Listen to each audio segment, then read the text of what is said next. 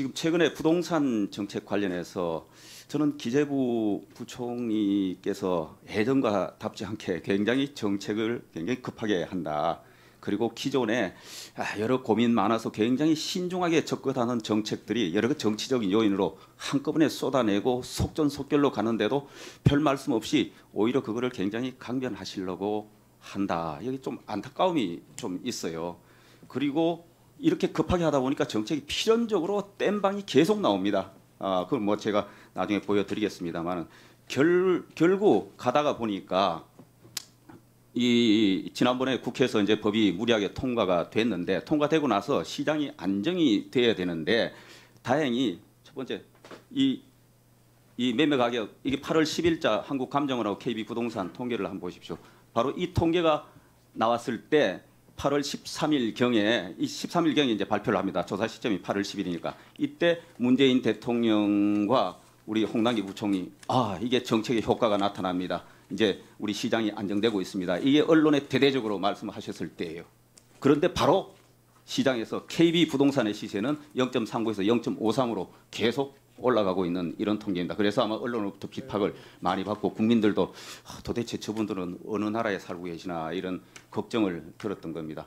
이 걱정에서 뭐 이 8월 17일자 지금 최근에 제가 다시 이 오늘 확인해서 받은 겁니다만 감정원은 비슷하게 가고 어, KB 부동산은 여전히 고공인데 그보다는 조금 낮았어요. 그다음 전세 가격 한번 보십시오. 전세 가격도 감정원하고 KB 부동산이 이렇게 격차가 있는 겁니다. 어, KB 부동 저기 감정원은 뭐 좀 낮은 수준에서 행보를 하는데 KB 부동산은 어, 법 통과 이후에 여러 가지 높은 수준 이걸 시장에서 반영을 하고 있거든요. 통계가 그 다음에 이 이제 격차를 한번 보십시오. 수준 자체가 아, 이게 격차가 있는 거는 좋은데 이 시장이 굉장히 이 변동성이 심하고 불안하고 또 이 과열이 될 때는 이 격차가 더 커집니다. 민간의 KB 부동산에서 한 숫자 흐름하고 이, 이 감정원에서 한 숫자. 그래서 밖에서 일반 국민들이 체, 상대적으로 체감하는 것은 위에 상단에 있는 KB 부동산의 이 숫자, 이 상대적으로 상승률이 높은 거 이걸 보고 걱정들 많이 하고 어 그래서 이런 통계가 지난번에 경실련 그도 KB 부동산에 나온 게 문재인 정권에서 부동산이 예, 한50% 이상 올랐다 그러고 그다음에 감정원에서는 12% 올랐다 그러고 아 12% 올랐는데 뭔 정부가 호들갑을 떨어가지고 23번의 대책을 하느냐 도대체가 이게 말이 되냐 이런 걱정들하고 지적을 했던 겁니다. 뭐 이거 뭐 네. 대체 아마 설명은 네. 여러 가지 조사 방법의 차이 등등을 하실 텐데 제가 드리고 싶은 말씀은 특히 대통령께 그리고 부총리께서 하실 때 저는 양쪽 통계는 나름대로 뭐 각자 설명이 있을 겁니다. 있고 한데 이런 통계가 시중에 나와서 다 많은 사람들이 인용하고 언론이 인용하고 전문가도 쳐다볼 때는 전문가들도 양쪽 통계를 다 봐요.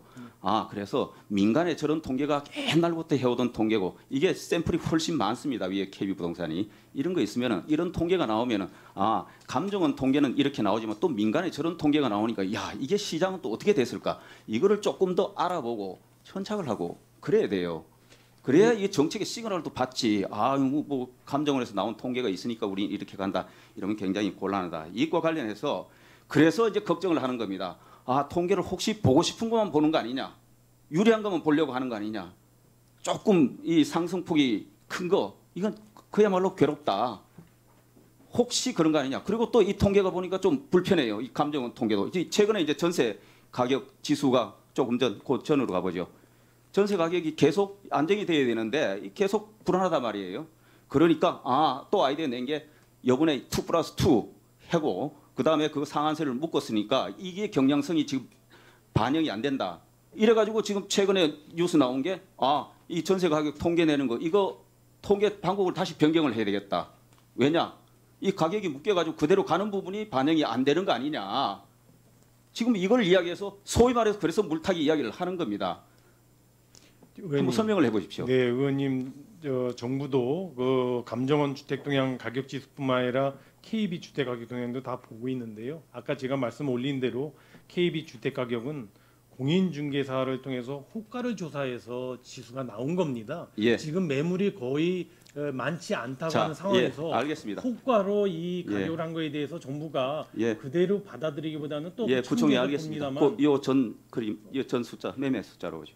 그리고 호가 좋아요. 호가 호가하고 실제 거래되는 거 있는데 호가라는 게 현재 시장의 그 온도를 반영할 수 있다. 시장에 실제 거래된 거하고 시장에 유사하게 옆에 호가되는 것들이 그게 바로 시장에 지금 현재 단위는 현장의 가격 지수다. 이렇게 받아들이면서 아 시장이 이렇게 뜨거워지는구나 아니면 또 냉각되는구나 여기에 맞게 해야 되는데 왜 이 통계를 지금 시장이 불안하다 정책의 효과가 있다 없다 그리고 말씀하신 통계에 대해서 여러 불신 어떻게 당국이 저런 통계를 가지고 저렇게 안이한 생각을 하시나. 이럴 때 또 당국자가 나서서 아 우리 통계 이거 방식을 바꾸겠다.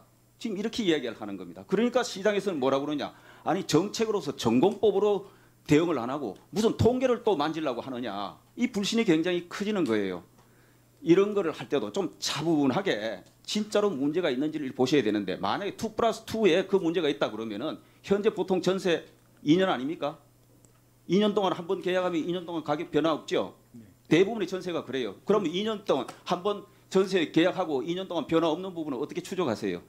그러니까 의원님 아까 말씀드린 것처럼 어, 지금 전월세 상한제 5%가 됐기 때문에 845만 명의 임차인들의 상당 부분은 제가 보기에 5% 이내에서 전세 가격 상승 혜택을 보고 있는 상황인데요. 그거는 예. 전혀 거의 통계가 안 잡히기 예, 때문에. 그거는 그 전체를 본다면 지금 전월세 시장에 나타난 통계보다는 사실상 실질적으로 임차인들이 느끼는 그런 어, 그 전월세 예, 상승은 어, 그 과대평가돼 있다라고 저는 생각을 한다는 예, 것입니다. 그거는 지금 현재의 이 기존의 이 전세도 2년 계약이기 때문에 그거는 2년 사이에도 그거를 계속 추적을 해 오셨어야 네. 된다. 한 번 전세하고 나면은 2년 동안 전세 변- 가격 변화가 없잖아요. 그럼 그거는 여태까지 어떻게 추적하셨어요? 그래서 이제- 지금 이럴 때 자꾸 통계 지난번에 통계청장이 계시는데 얼 통계청장님 경질 사유가 통계 때문에 경질됐다고 그 당시 굉장히 통계 독립성 객관성에 관해서 여러 가지 이야기가 많았었어요. 이럴 때는 예. 통계 가지고 만지는 게 아니고 여러 종합적인 데이터를 갖고 이제 아 겉으로 잡히는 가격하고 그 밑에 사실은 계약이 일어나기 전에 그 안에 가격 요인이 내재돼서 부글부글 끓고 있는 게 있어요. 그것이 바로 옆에 호가로서 나타날 수 있는 거거든요. 그런 거를 감안해서 정책을 할 때 우리가 이거 시장을 어떻게 인식을 해야 되겠고 정책을 어떻게 가져가야 되겠는지 또 정책에 대한 반성을 이렇게 인식하시는 게 맞다. 제가 그 다음에 여러 자료 좀 정비할 수 있는 또 추가 문제 제기할 수 있는 자료는 보통청에게 다시 말씀드리겠습니다. 예, 의- 의원님 의원님 지적의 말씀을 잘 알아듣겠고요. 아까 기동민 의원님께서 말씀 주신 것처럼 어, 이 설명할 때 좀 굉장히 조심해야 된다는 또 지적의 말씀이 자칫 생각이 납니다. 정부가 통계에다 핑계를 대려는 건 아니었고요. 아까 말씀드린 전월세 시장은 제가 매매 시장에 비해서 인상률이 굉장히 불안정하다고 말씀을 드리고 그것도 그대로 말씀을 드렸습니다. 그러나 현재 부동 전월세 시장이 왜 에, 매매 시장보다도 그렇게 좀 어, 상승세가 높은지에 대한 설명하는 과정에서 이와 같은 요인도 있을 수 있겠습니다라는 것을 말씀드린 것이고요. 정부가 설명하면서 뭐 통계로 그걸 갖다가 덮, 덮겠다든가 또는 통계 제도를 바꿔서 뭘 해결하겠다는 의사는 없다는 것을 제가 명확히 말씀을 드립니다. 정부도 그런 원인들을 좀 자세하게 에, 검토 분석해서 제시하면서 나온 거라고 이렇게 이해를 해주셨으면 하는 말씀을 드립니다.